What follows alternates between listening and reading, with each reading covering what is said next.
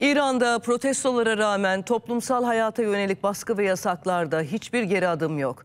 Son olarak ülkenin en ünlü futbolcularının katıldığı yılbaşı partisine baskın yapıldı ve yine karma hizmet veren bir spor salonu da kapatıldı. Bir tarafta kadın, özgürlük ve yaşam sloganıyla 4 aydır süren protestolar, diğer tarafta yasaklar. İran'da protestolara rağmen toplumsal hayata yönelik baskı ve kısıtlamalarda geri adım yok. Bu kez hedefte İran'ın en ünlü futbolcuları vardı. İran basınına göre futbolcuların Damavand kentinde katıldığı yılbaşı partisine baskın yapıldı. Partiye kadın ve erkeklerin birlikte katıldığı, alkol servis edildiği öne sürülüyor. İsimleri açıklanmayan bazı futbolcuların kısa süre gözaltında tutulduğu belirtiliyor. Elbruz eyaletinde ise karma eğitim veren spor salonu mühürlendi. Sahibi ve antrenörü hakkında dava açıldı.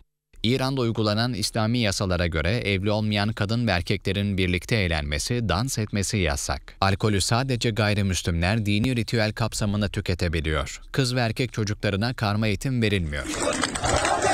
Eylül ayından beri devam eden protestolarda kadınlara yönelik ayrımcılık ve baskıların son bulması talebi öne çıkıyor ancak ülkenin dört bir yanına yayılan özgürlük mücadelesine sadece kadınlar destek vermiyor. Değişim isteyen her yaş, sınıf ve etnik kökenden binlerce İranlı sokaklarda. Onlara ünlü sanatçı ve sporcular da destek veriyor.